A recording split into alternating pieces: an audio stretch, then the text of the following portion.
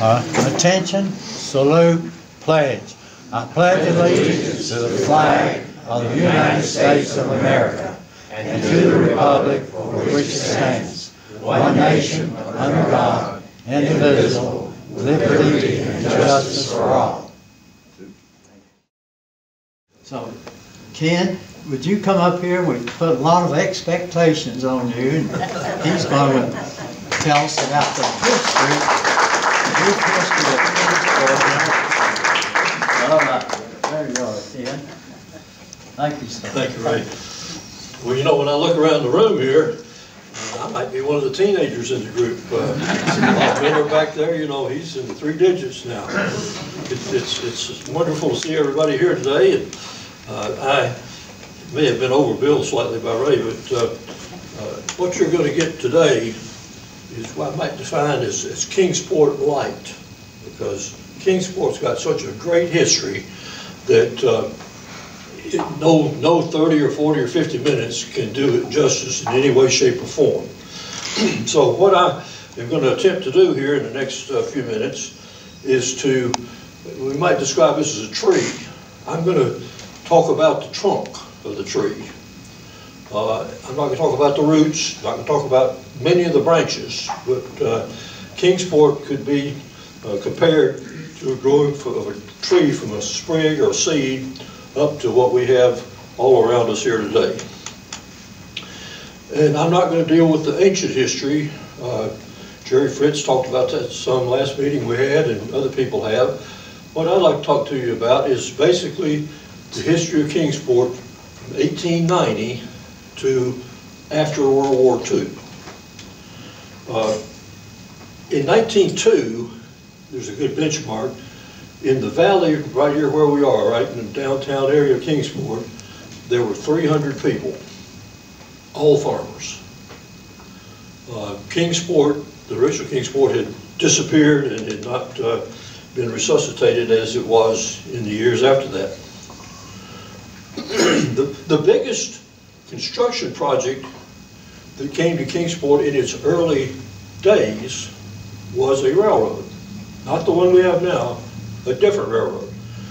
It was called the Carolina, the, the, the Charleston, Cincinnati, and Chicago Railway.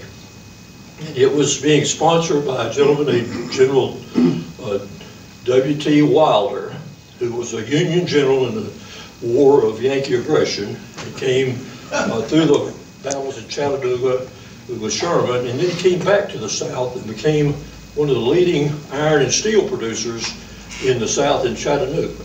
He also developed Roan Mountain. But his, his passion was the three Cs, the Charleston, Cincinnati, and Chicago Railway, to build from Charleston to Cincinnati, right across the mountains, right through the area we are. And that was incorporated in 1886. And in the four years from then till 1890, uh, the Three Cs Railroad built about 300 miles of railroad grade. I say grade, not track.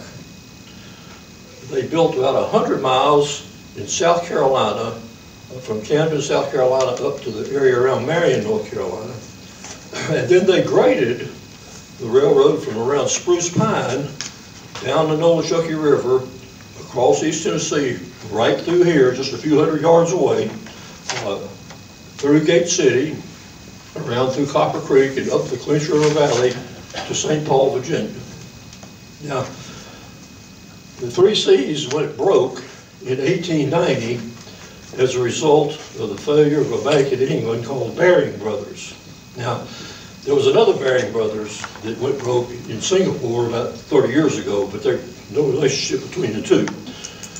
The thing that killed the 3C's financial arrangement with Baring Brothers was South Africa, of all things. It was an English bank, and in 1889, 1890, the gold mines and the diamond mines in South Africa came across very poor seams where the diamonds and the gold was mined, and as a result, they went into receivership and brought down Baring Brothers in England and the Three Cs project here in East Tennessee. Uh, Most of you probably know the area pretty well. So let me just describe a couple of things about the three Cs that you probably don't realize, but that are really there. The drawdown of Boone Lake, because of the defect in the dam, has exposed about 20 miles of the 3C grade, which is in the lake up there.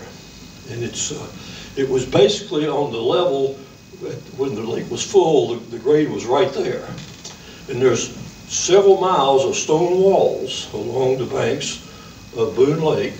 Uh, Winged Deer Park in Johnson City, if anybody knows where that is, the Three Cs grade went right through the middle of Winged Deer Park.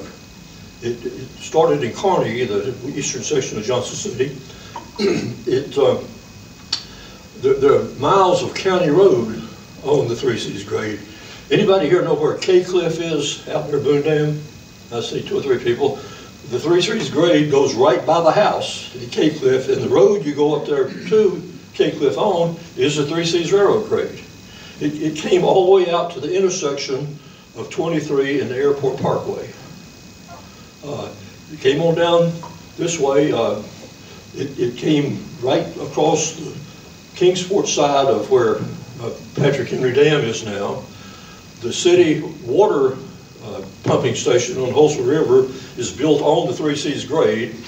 It came through the gap, John B. Dennis, it came right through the middle town here.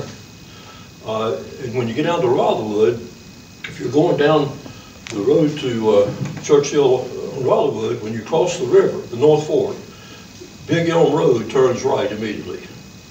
Go out Big Elm Road a mile, and you'll drive on Three Cs grade for two or three miles, and it's just really nice. It's flat, very narrow. Uh, Occasionally go down through a gip like that and come back up, which would, there would have been a bridge. Uh, When you're driving to Gate City, uh, and you're right beside the railroad track in Weber City, that's the actual grade. And the way you could tell it's the actual grade, I'm, I'm getting down one of the branches here, but we'll get back to the tree. Well, you can tell it's a- one of the actual constructions of the three Cs is there's two or three culverts, just, just pipes or just very small drainage uh, evidence alongside the road there. The ones that are cut stone were built by the three Cs. Because after 1900, cut stone was pretty well uh, passe because concrete was so readily available and was- was used because it was cheaper. But that's one of the many ways you could tell. The road from Clinchport to Dungannon and Fort Blackmore, most of that is on Old Three Cs grade. It's probably the longest piece of un, incompleted railroad track in the United States. They went broke in 1890, and nothing happened in that direction for a number of years. So what I'm going to try to boil this down to is three or four general to- topics. One, let's talk about people. George L. Carter, John B. Dennis, Isaac T. Mann, Thomas Fortune uh, Ryan. Let's talk about Egyptians. I'll get back to that, really. Let's talk about organizations, the three Cs that we just talked about. A company called Blair and Company, which most people never heard of, but Blair and Company was the corporation that hosted the people that we know the names of who built the railroad in Kingsport. And let's talk a little bit about decisions. George L. Carter is the unsung father of not only Kingsport, but of East Tennessee and of Southwest Virginia. Carter was born in Hillsville, in Carroll County, Virginia, where Hillsville is, in 1857. And he didn't have a, a graduate degree. I think he went through like the sixth or seventh grade. But he was clerking in a general store in Hillsville that was run by J. Fred Johnson's family. And that's how J. Fred Johnson and Carter first knew each other. But in the 1880s, the Cripple Creek area of Virginia, which is the headwaters of the New River around Fries and Galax, uh, became a real hot area for zinc and nickel mining. And Carter began speculating in land there and was very successful and made a good bit of money. Not only did he make a good bit of money, but he became the attention of several of the leading people in Southwest Virginia as a pretty astute fellow and a good businessman, and so he wound up uh, as the president of a company that had most of the iron furnaces in southwest Virginia. In in the 1880s and 90s, iron was a local product. It wasn't centered in Cleveland or Pittsburgh or somewhere like that. So uh, he, through the iron business, discovered all this coal in southwest Virginia. So he began acquiring coal lands. Now, Carter had a lot of peculiar characteristics. The one that really stands out the most is he made Howard Hughes look like a gadfly. I mean, Carter didn't leave anything. The only reason that anybody's ever been able to put together a history of Carter is from the court cases where he had to testify in, in all the legal ramifications involved with the coal business, the railroad business, the land business, uh, the whole smear. To, to, to give you just uh, an example of the way he was, anybody here ever hear of J.C. Harkrader? Okay, J.C. Harkrader was the, the publisher and the owner of the Bristol Herald Courier. Carter, believe it or not, owned that newspaper back in the 19 to 1916 era. And Carter had many ups and downs financially, which we'll get into. But uh, in 1916, he was hard up in one of his many situations, so he called Charlie Harkrader up and said, Charlie, meet me at the Windsor Hotel Saturday night at 10 o'clock, and I'll sell you the Bristol Herald Courier. So Charlie got his money together and went down to Johnson City to the Windsor Hotel at 10 o'clock at night, and here's Carter, and it was in the wintertime, and they proceed to execute the sale. Harkrader conveys the money, Carter conveys the charter in the minutes book, and then they have what they call a burn book settlement. They proceed with the fireplace to burn every record of the Bristol Herald Courier that's Carter got anything to do with Carter. And that was called a burn book settlement. And there was a number of those cases. That's, that's just an easy example. There were there are bunches of them. And for that reason, there's nothing printed around for Carter except what people who weren't related to him in any way wrote down and these court cases. Anyway, by 1900, Carter had assembled over 300,000 acres of coal lands in southwest Virginia, which were essentially worthless because there was no way to get the coal from there to somebody who would pay you to deliver it and burn it. So Carter realized that the way to make that coal valuable was to build a railroad from the coal lands to a market that needed coal. Now, in 1902, he began buying up the little fragments of the three C's that still existed. And he incorporated a company called the South and Western Railway. Now, that's pretty vague. And the charter was even vaguer. The South and Western Railroad was chartered with the purpose of building a railroad from any place on the Atlantic Ocean to any place on the Great Lakes. Not very precise. Might have gone through Memphis, who knows? Anyway, he began assembling these pieces, and the South and Western Railway, uh, to keep his cover, he had other people buy these railroads in their names uh, with his money, and there were 13 different South and Western Railway companies. There was a South and Western Railway Company of Virginia, there was a South and Western Railroad Company of Virginia, there was a South and Western of Tennessee, North Carolina, South Carolina, Kentucky. Nobody could figure out anything. In fact, over the years, Carter was involved in a lot of litigation, and it was said that uh, you couldn't find a lawyer to sue him because I all worked for him. in any event, he started the South and Western Railroad, and by 1904, he had built a number of miles of that, but he had run out of money. So, what do you do when you run out of money? Well, you, uh, you know, in East Tennessee, you might print some, but that wasn't what they did. Uh, he went to New York, and he knew some of the people that we are talking about, but uh, he, he wound up interesting Blair and Company. Blair and Company was a private bank, not like J.P. Morgan or, or uh, Wells Fargo or these people like that. It was a private bank of wealthy individuals. And Blair and Company uh, had lots of money, lots of capital to invest, and a great deal of management expertise. So in 1904, he went up there and convinced these fellows to come down to East Tennessee and Southwest Virginia and look at this coal land property that he owned and to consider financing the railroad. There's a well-known picture, which most of you have seen because it's been published many times, of these guys all on horseback in a circle in front of the Crane's Nest Mine at Toms Creek, Virginia. And if I had the picture, I could tell you who they all are, but, but Carter is the guy on the end, looking very, you know, unobtrusive.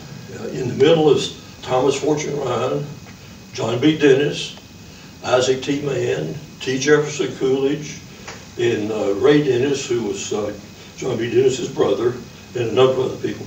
In any event, they toured the property, came back to Bristol, and Carter organized a banquet for them there. And in typical fashion, he didn't show up. He had one of his lawyers come and do master ceremonies.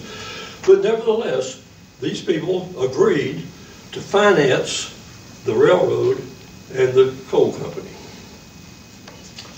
That was the great step forward in success.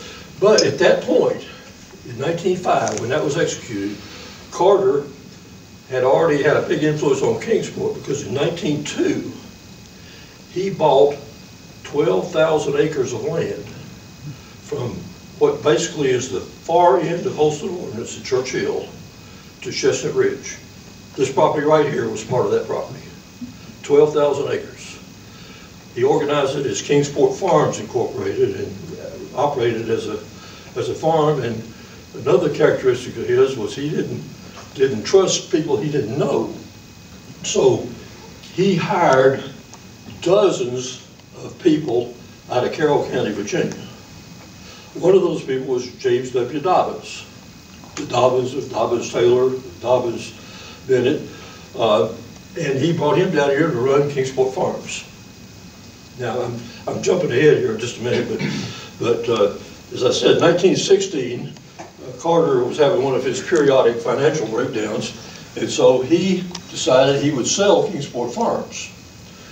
But because J.W. Dobyns was here running it, had been running it for about 12, 13 years, he gave Dobyns 496 acres of land, which is basically the Fair Acres, uh, eastern Watauga section of the, of the 12,000 acres, and then he sold the rest of it to the Blair and Company principals.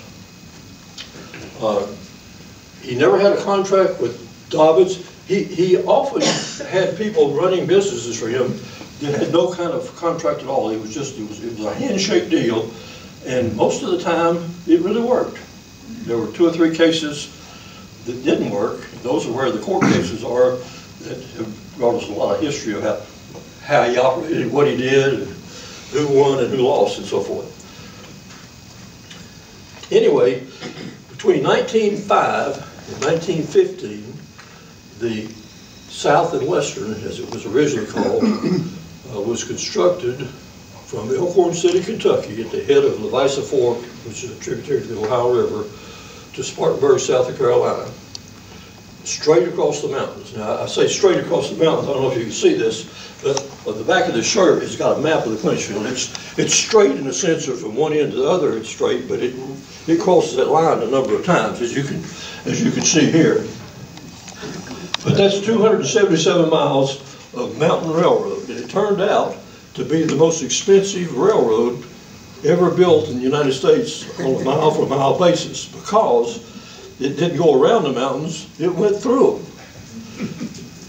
Let's see, four, 4% of the railroad was underground, 55 tunnels in that distance across there. What percentage was underground? Four percent. Four percent, Right. wow. Uh, John B. Dennis was taking over the railroad after it was finished. He got to Spartanburg on a special train, and somebody said to him, he said, well, Mr. Dennis, what do you think about this railroad that you've helped us finance and build? And he says, I think it's gonna be great as soon as you finish covering it over.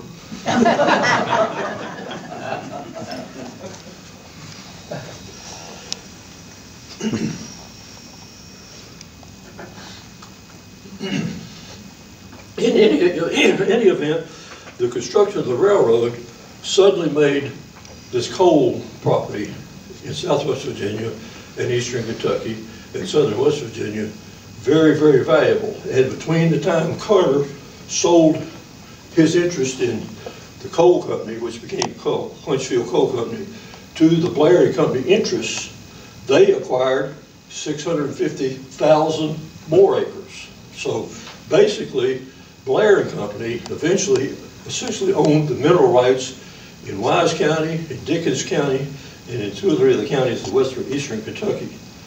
This, was no, this was no nickel and dime operation, as you can see. Uh, in 1908, after the construction was well advanced, they scrapped the south and western name to a very specific name, the Carolina, Clinchfield, and Ohio Railway. Well, they made it to both Carolinas. The clinch field is the coal fields in southwest Virginia, which it traversed. They didn't make it to Ohio, but two out of three isn't bad.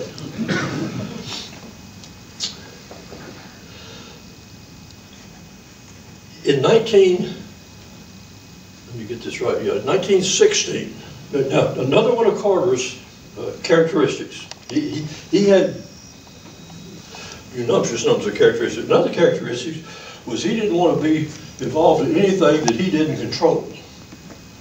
Uh, so, as soon as the road was finished, he sold out in East Tennessee and moved to Coalwood, West Virginia.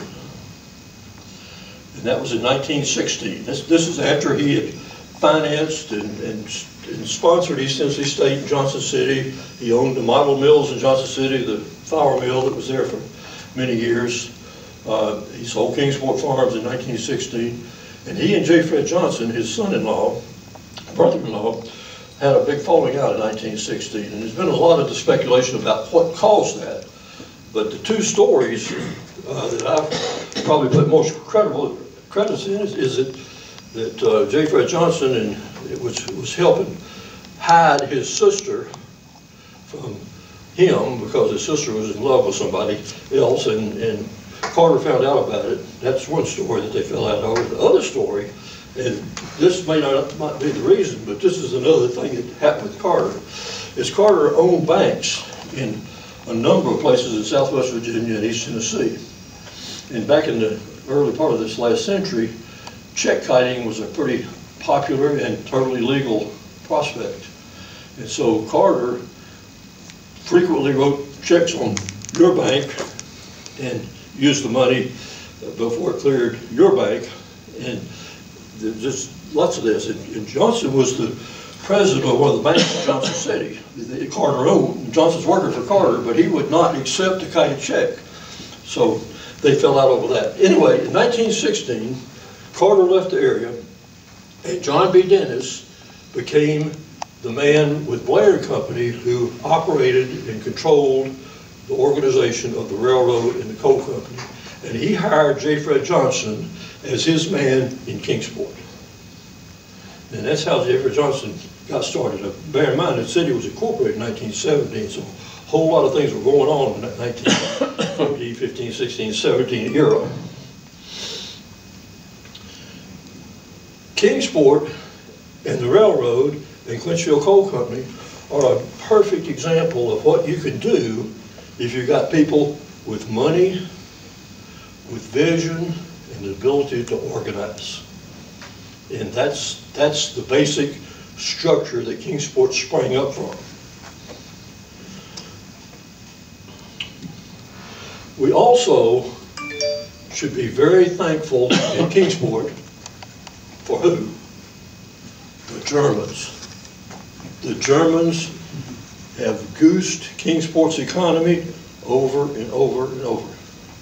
We'll talk about that.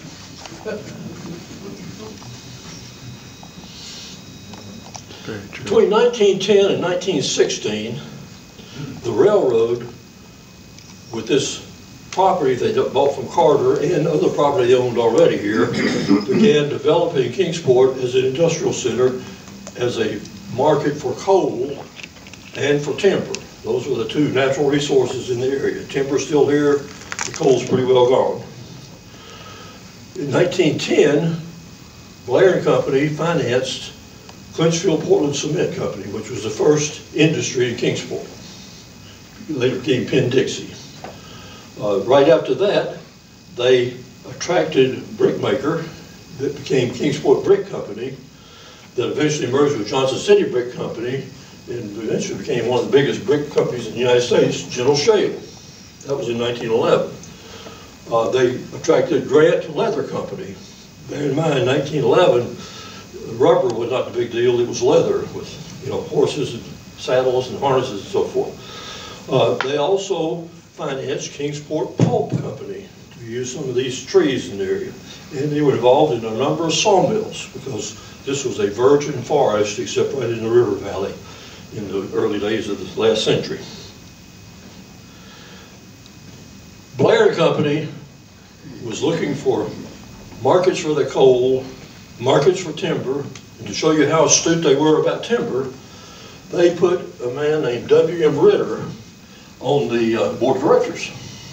Anybody ever heard of W.M. Ritter? One, one person. Well, W.M. Ritter was the, was the leading hardwood lumber producer in the United States. Uh, guess what?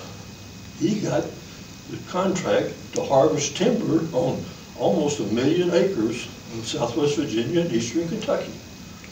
Isn't it amazing how these things just coincidentally happen like this? uh, incidentally, the company Georgia Pacific is the outgrowth of W.M. Ritter Company. That's a name that probably you, you would know now.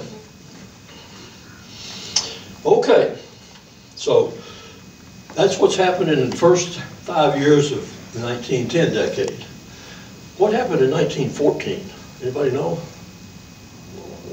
I didn't give you a leading leading hit here, but that's when the Great War started, World War One. So the American economic enterprise was very dependent on the Germans in a number of areas, one of which was aniline dyes for, for fabric. The Germans were the technology leaders in dyes, uh, and suddenly you couldn't get dyes from Germany. So J. Fred Johnson and Dennis and Blair Company organized a company called Federal Dye and Chemicals to come to Kingsport and build a dye plant. Uh, some of the some of the pieces that lasted until maybe 20 years ago, but uh, but it was a very short-lived business. It also brought, brought in uh, American Wood Reduction Company, which has ties to what became Eastman, and a little known fact, they brought in Edgewood Arsenal, a government enterprise. How many of you remember Wilcox Drive, before Eastman was on each side, It was a great big round brick concrete building over in what's now the parking lot between the Eastman Employee Center and the other buildings. Anybody remember that building? Sam, Sam Anderson later had a scrapyard there in that same building. Anyway, that was the powder magazine for Edgewood Arsenal. And their job was to fill shells with chlorine, poison gas for World War I. Anyway, President Wilson kept us out of war for three years, and then he jumped in in 1917, and four million people were uh, conscripted into the army and sent to Europe and, and well, worked in France until the end of the war on November 11, 1918. Well, on November, apparently on November 19th, the three industries that had come here as a result of the war, the dye works, the wood reduction plant, and the powder magazine, all shut down. No reason for them to keep going. They can still get dyes in Europe now. Uh, wood reduction, the, uh, wood alcohol, Germany as well. So that's all that problem. So J. Fred Johnson and Dennis are now faced with, now what do we do? So they go out and they again begin recruiting new industries. And the industries they recruited Um, let me find the list here, just be sure I've got it right. The, the first one they got was Blue Ridge Glass. How many of the ladies here remember Pyrex? Yeah. Okay, some, some do. Pyrex was, I guess, the original glass cooking item. And Blue Ridge Glass originally was constructed, was constructed to build, to, to market Pyrex. Um, They brought in the Kingsport Press. The, the Kingsport Press building, which is right across the street here, uh, was built in 1920. The, the steel framework was built in 20 1920 uh, for uh, military purposes, ma- mainly uh, stuff to be used with animals and and beasts of burden. But when the war was over, of course, that went down the tubes too. And, and between 1920 and 25, Blair and Company financed and organized the Kingsport Press Company. Anybody remember who the leading name in Kingsport in that era was briefly? Will Cox? George, George L. Bush's, George, George Bush's father lived in White City, which was mentioned a few minutes ago, and was here to help organize the Kingsport Press. They also attracted Borden Mills, a textile company in Massachusetts. Borden Mills built the biggest king, building in Kingsport up until uh, they tore it down. And they attracted Holliston Mills. These are the people that they replaced the earlier industries with, and all basically in this same strip of land right through town. And they attracted George Eastman. We'll come back to him in a minute. I said earlier that Blair Company was a well-financed, well-instructed organization.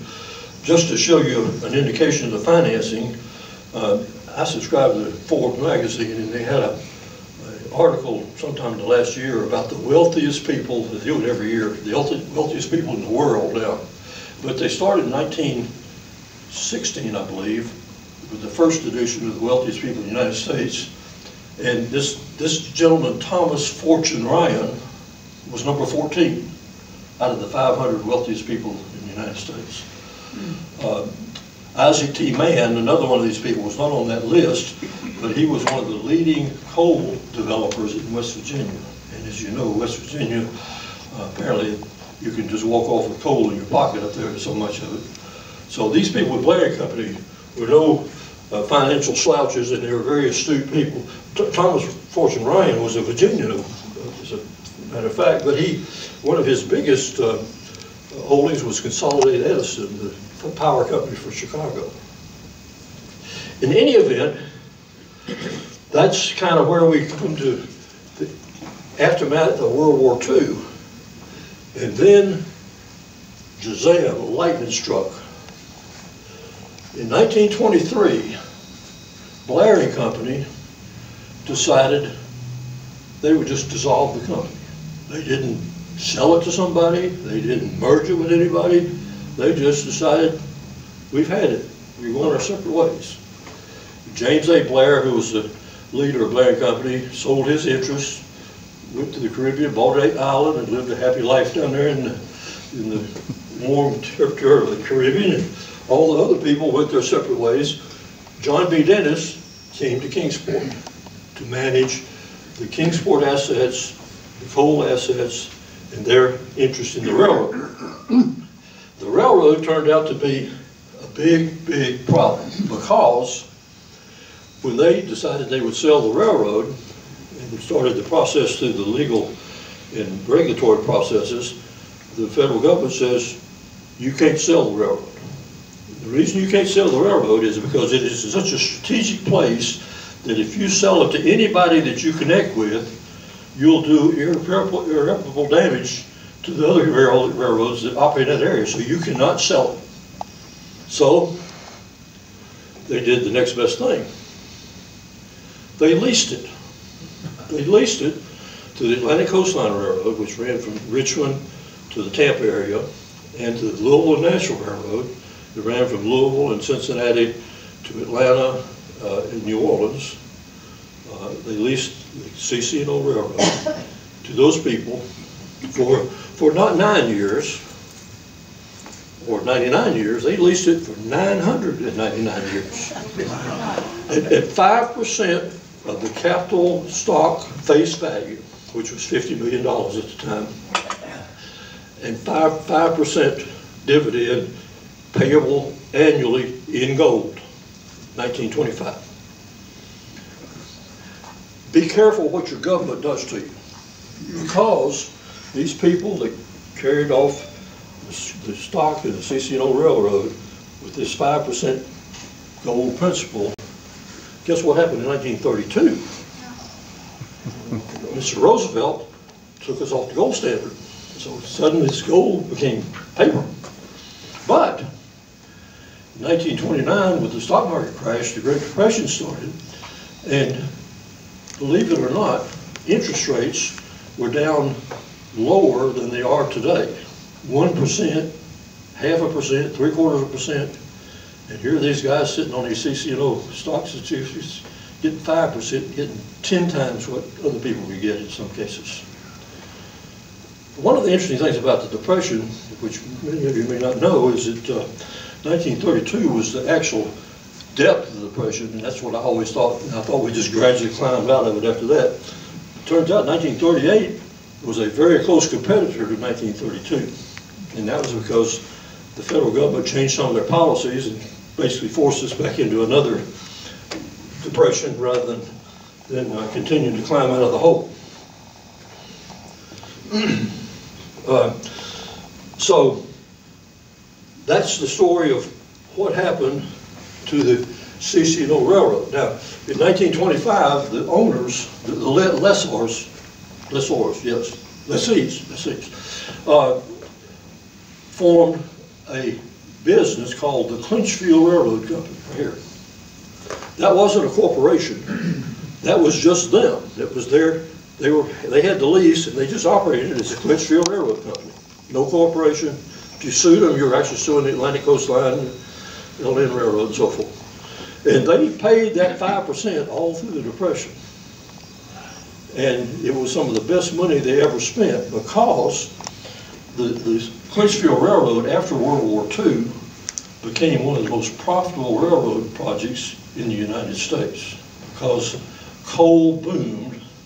The southeast United States became dependent on coal-fired uh, electric generating plants. And at one time, we had 30 trains a day going through Kingsport, of which about 24 were coal trains of 10 to 12,000 tons apiece, fueling Duke Power, South Carolina Edison Electric, uh, Savannah Electric, all this other company, uh, people in Florida. It, it was a it was a fabulously successful business uh, eventually, but you, sometimes all good things have to wait. So that's in a nutshell what happened with the development of Kingsport before uh, 1950, except, and I'm, and I'm going to come back to Eastman for a moment, the only other industry that has ever come to Kingsport after Blair and Company dissolved was Holston Ordnance. And Holston Ordnance is now our second largest employer in industry. It's got about 1,100 employees. They're running at, at uh, maximum output, very successful uh, manufacturing situation, critical issue with the government and military, and it's the largest conventional explosive company in the world, right there across the river.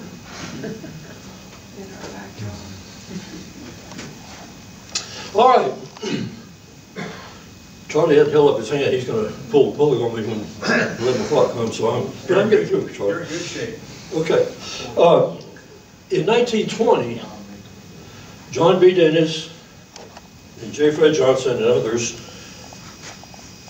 marketed the American wood reduction property to George Eastman because he was looking for a place he could build a manufacturing facility to provide his raw materials, because he said he would never again be dependent on raw materials from outside the United States.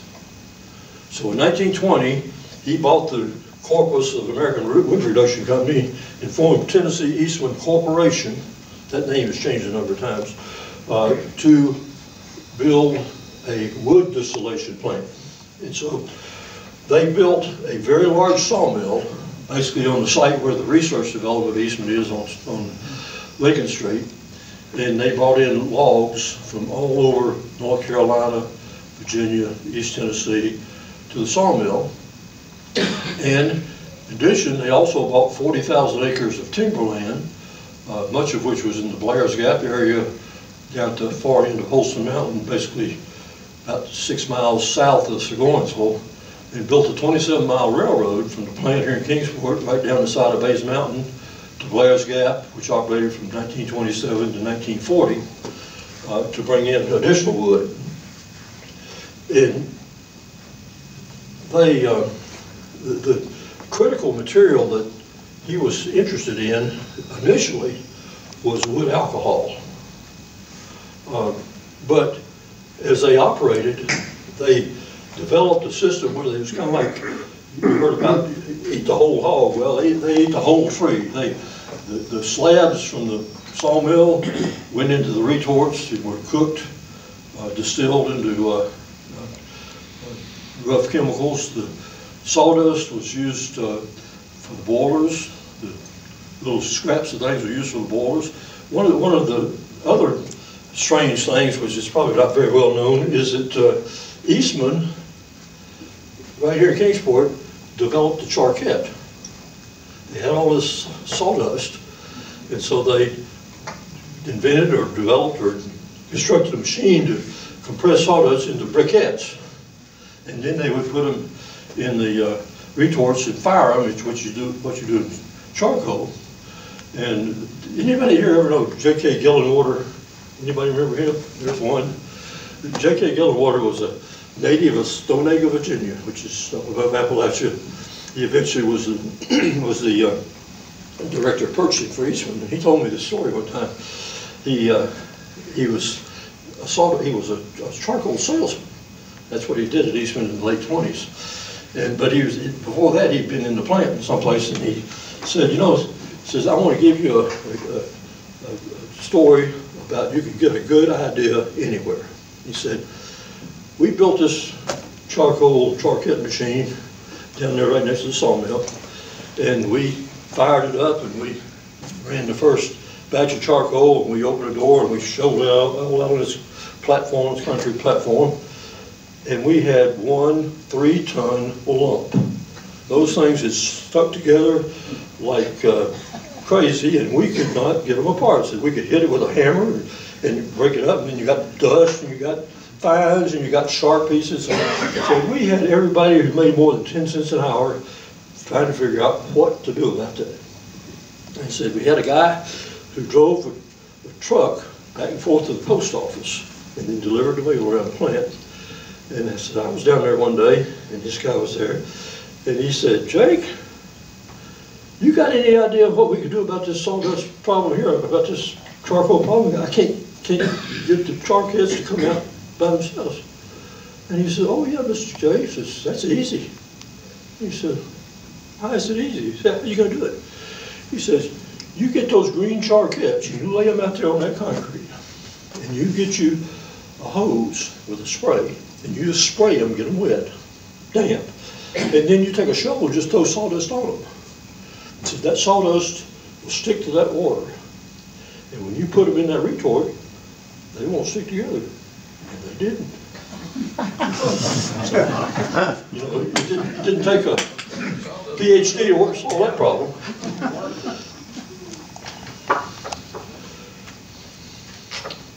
Anybody here ever heard of pyroligneous acid?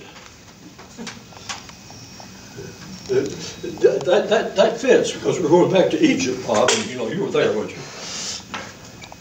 Pyroligneous acid, uh, been known since biblical days, and apparently, uh, the cedars of Lebanon were the source of pyroligneous acid in, in ancient times, and that was used as the embalming fluid for the pharaohs. But the first thing that you got out of the wood retorts out here was pyroligneous acid. Then Eastman distilled it into the various constituents that were in it, uh, which is, you know, you, you, it's amazing how interconnected the world is, but how interconnected the world was 3,000 years ago in certain ways. That, that pyroligneous acid uh, was distilled into acetic acid, which is, most of us would know it's vinegar if we cook, acetone, wood alcohol, methanol, and wood tar, which uh, most of us would call creosote, and a number of other chemicals. Acetic anhydride came along later in the Eastman concept here, but the acetic acid was also a critical component in photography, in black and white developing of photography. So that was uh, methanol, wood alcohol, and, acid, and acetic acid were the, were the keys there. Going back to charcoal for just one other little uh, comment is, guess what the leading use of charcoal was in the 20s? Yes, sir. Cooking on the railroad. Exactly. Before, before the railroads got compressed gas and electricity on the dining cars and the passenger service, they cooked with charcoal. And that's what uh, was the original uh, uh, market for charcoal writ large. And the other one was in refrigerated cars handling foodstuffs. Even in the 20s, the Central Valley of California was a big producer of fresh vegetables. And in the winter, they had to haul it over the Sierra Nevadas into the Midwest, and they froze. And so they would put charcoal heaters in the ice bunkers on the refrigerated cars in the wintertime to keep them from freezing coming over the mountains in the Midwest. And in the summertime, they put ice in those bunkers to keep them from getting hot. So those were the two big uh, markets for charcoal in the 20s and the early 30s that Eastman had a big hand in. They also made a product, product uh, called No Decay, which was their version of creosote. I'm sure the EPA would blanch if you brought one of their samples into the building down. In, in about 1930, Eastman, Tennessee Eastman Corporation developed cellulose acetate. Cellulose acetate was the first major plastic, and cellulose acetate was made out of wood pulp. Again, Eastman Kodak was the big customer because they were previously were using nitrate as film, which was highly flammable. Cellulose acetate solved the flammability problem, and as Eastman started making in 1930, uh, cellulose acetate and its derivatives kept Kingsport out of the Great Depression because Eastman hired people, a number of people, all through the Depression because the cellulose acetate process just grew and grew and grew and grew. Uh, eventually, it became one of the products was was Chromspun, which was a fiber that was used in things like hotel, hotel draperies where the flammability was an issue. Uh, and, and, you know, what goes around comes around. Uh, the other product that became a big issue with cellulose acetate was cigarette filters. And all of us know what's happened to cigarettes and cigarette filters. And now Eastman has got a major research and development program going on to develop a new family of fibers with cellulose acetate.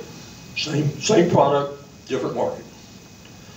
Uh, you know, it, it, it, not, nothing ever actually goes completely away. It may get, get kind of distant or faded or unknown, but it, almost everything comes around eventually again. Another question. How many people here are natives of Kingsport? This is, see, yeah. Okay, so only about maybe a third of us. You know, I, I'm a native of Kingsport, but I've lived here over and over again, and I was never an Eastman person as a child, so I was discriminated against. Anyone who didn't work at Eastman or was not a family of an Eastman person was discriminated against. I, I, I know discrimination firsthand. You, you couldn't find anybody to play with on Saturday morning on you, you couldn't find anybody on Sunday afternoon because they all went to the movie and to lunch at the cafeteria. So, so I've been discriminated against. But but one thing got over the whole community, Eastman and Eastman knots. Does anybody here remember a little disc, I say disc, a little rectangular thing, it was about that wide, it was, it was rectangular. It was about that size right there. Everybody had one. You know what that was? Gail, do you know? Little dog tags? No. As I say, uh, cellulose acetate was the first ma- major product for, uh, in plastics. And- And people made screwdriver handles out of them, they made toothbrush handles, made knobs for your steering wheel in your car was cellulose acetate, those things like that. But the product was called Tenite. And everybody in Kingsport, th- it- well, let me go back. In, in- in the color lab at Eastman, where they, where they made tenite to fit the color of your toothbrush or the steering wheel and so forth, they had these chips, that's what, that's what I call it, about that size. They were about, oh, half an inch thick, and, and they had a little step on them. And, and they had hundreds and hundreds and maybe thousands and thousands of these chips, and they were on a big chain. And you go in there and you say, okay, I want to match this toothbrush handle, and you, you take the one that had the right kind of colors on it, and you go down there until you found one that was the same color. But somehow or another, there was a big leak, because everybody in Kingsport had one of those things to scrape ice off their windshield in the winter. And they were soft enough it wouldn't scratch your glass, and they were hard enough that you could not break them. And, I mean, it was, it was like having running water. That was, that was a critical issue. So Eastman Security was not that good.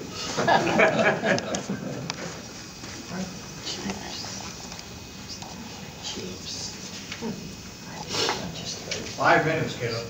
Okay. He asked me. Okay, five minutes. This will be, this will be the quickest run through in history on five minutes. What happened in 1939 that's related to what I've already talked about? World War II, September 1st, 1939, those Germans, those pesky Germans invaded Poland and World War II started. Okay? Like I say, 1938 38 was the low, second low point in the American economy. In 1939, it started doing this, and it did this all the way past the Korean War. But back to the Germans. Uh, Roosevelt kept us out of the war until the Japanese attacked Pearl Harbor on December 7, 1941. But by then, the military development in the U.S. had been, was huge. My father had been in the Army two years by that time.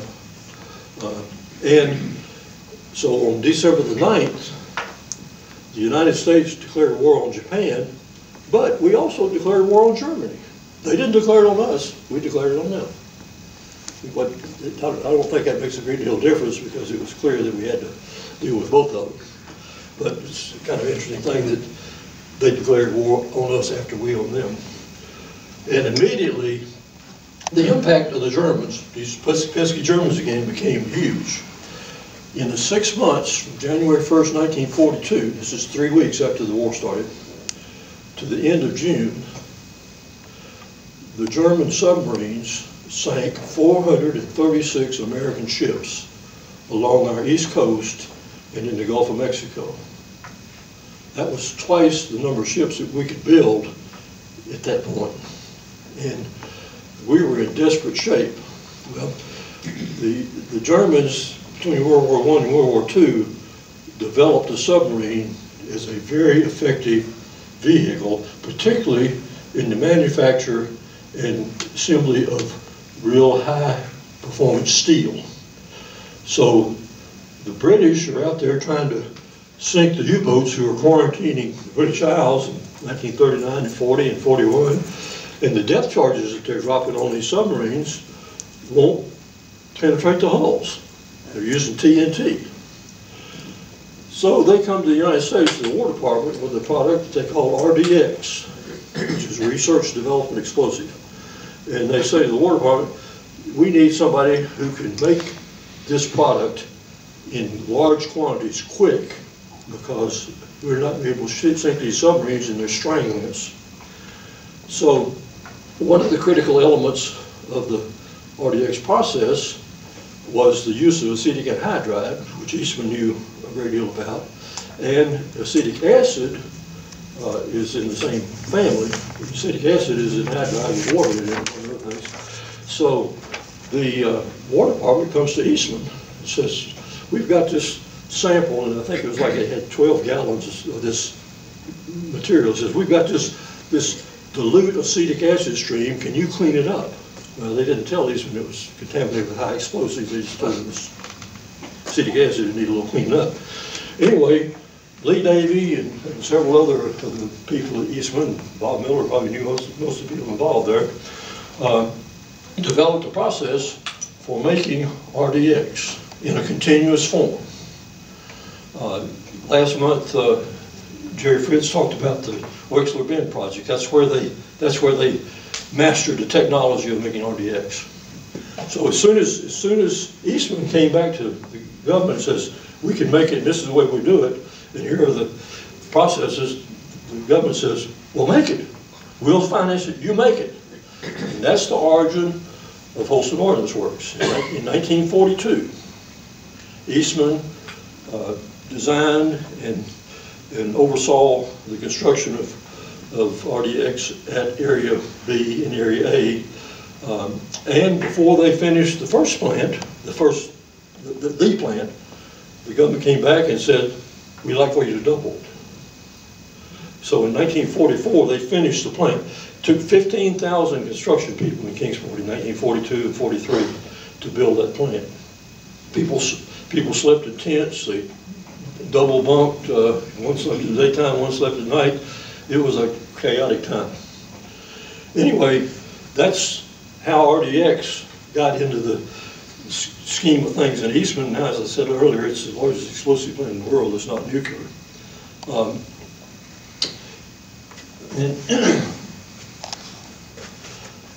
To, to show you, to, just, just to illustrate what RDX's capability is, it's seventy percent more potent explosive-wise than TNT. And to make it safer to handle, they mix TNT with it to, to tone it down. Maybe they didn't want to blow the submarines up on the shore. But uh, anyway, that, that's an illustration of the situation there. Uh, Rather than get out on the branches, I'll try to wrap this up here before Charlie pulls the plug on the microphone here. Here we are in 2019. The Clinchfield Railroad came along here 110 years ago, uh, in 1909. And the people who built the Clinchfield Railroad and and developed the coal fields in southwest Virginia organized the community here, they organized the city government, they planned the city.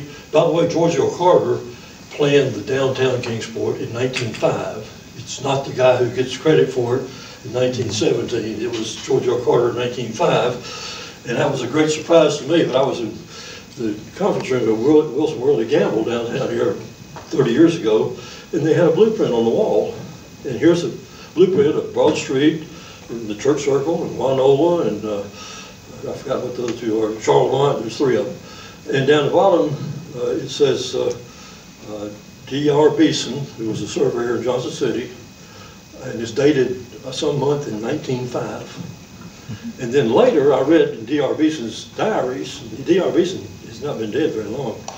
Uh, I read in his diaries his story of surveying Broad Street and the circle streets when it was just nothing but, he said, a great big thicket. He talked about ruining a pair of serge pants walking through the thicket with his transit and so forth. So anyway, we, we, we've come a long way. We've come a long way. But you know, some things are still the same. Uh, Eastman made chemicals out of pyroligneous acid.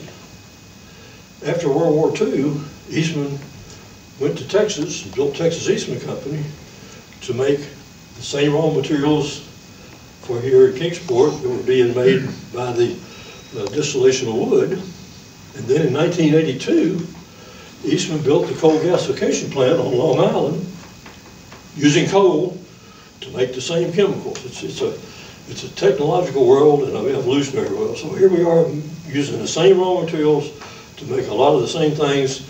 We start off with wood, then we went to natural gas, now we got coal. Who knows? it might be solar next week.